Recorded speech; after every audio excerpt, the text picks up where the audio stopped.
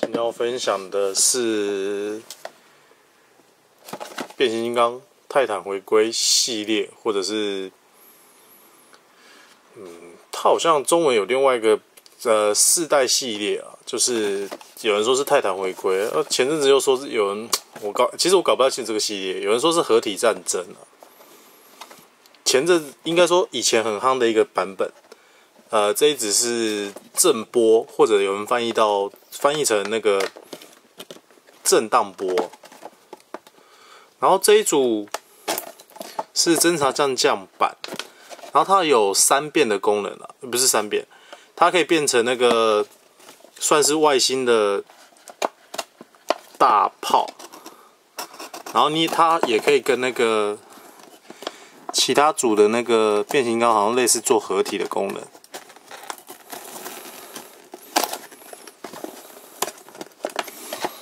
就开给大家看。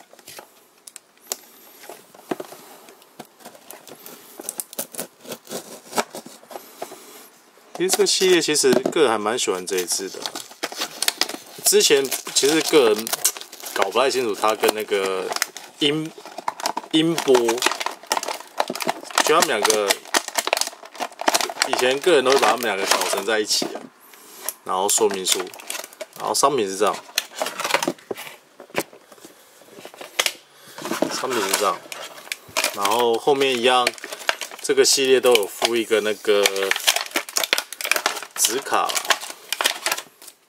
然后纸卡这个版本的就没有那个附那个，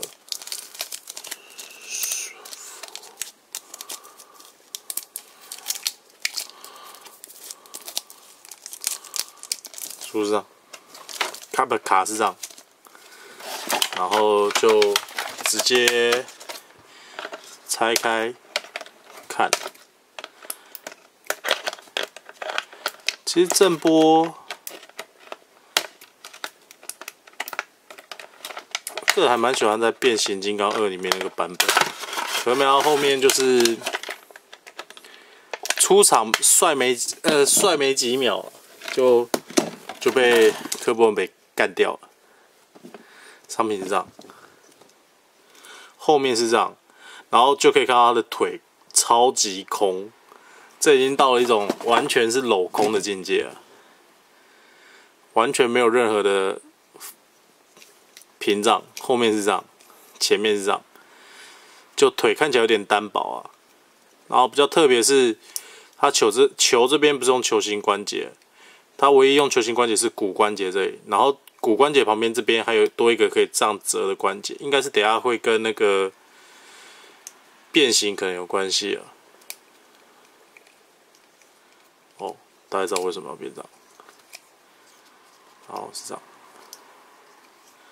这样，然后手是这样，手肘跟手手肘跟手呃肩膀都是用球形关节，可是它肩膀的球形关节，它的设计来讲是只能完成这样子，不能就是前面的部分没办法展开啊，是这样。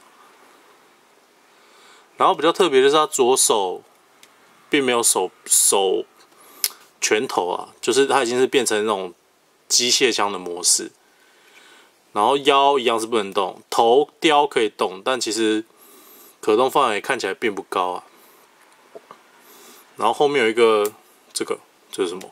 我应该是那个可以折的背就没有什么空心。它唯一比较缺点就是腿这边完全是镂空的，有点可惜。前前面是这样。然后就开始试着变形了。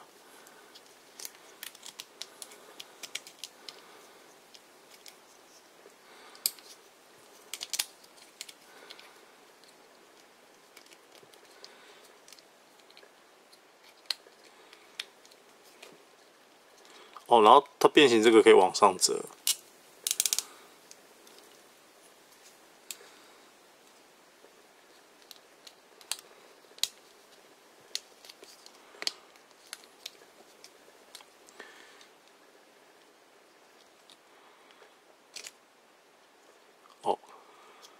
它的腿这一个也可以往前折啊，只是它折的时候可能要稍微看一下，要拉一下，然后往前折，往前折，然后就可以变形成这样子，下面看是这样，上面看是这样，就是一种外星飞船的模式。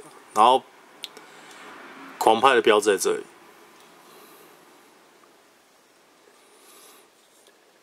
下面变这样，然后手臂还是在啊，前面是这样，转圈给大家看。其实这组个人觉得还不错，唯一缺点就是它脚变身后，因为为了要收纳成在这里面，所以它就是后面看起来会非常非常的空，空到一种让让我不知道怎么形容的那种空啊，非常空的一个空间，不知道为什么用成这样子。然后变形来讲，个人觉得变形机构这一组还算简单了，然后就这样往下折就可以完成了。变形来讲，应该不用，可能不用三十秒吧。对啊，然后比较好一点，就是因为它为了变形，这边这个关节，除了本身骨关节的球形关节，它多了一个这个可以旋转的关节啊，所以摆放姿势来讲，个人感觉还不错。然后手呃。手的拳头是用透明件来做的，然后注意看他胸口的胸甲跟脚这边都是用透明件，还不错。唯一缺点就是后面这个两个看起来卡带康康，感觉有点镂空啊。跟个人是觉得还算可以接受的范围啊，算是一个侦察战舰里面涂装也还不错的。这边也有一样有狂派的标志啊，另外一个隐藏在这里啊。呃，可以变形变身成大炮，有兴趣的朋友可以考虑啊，还不错。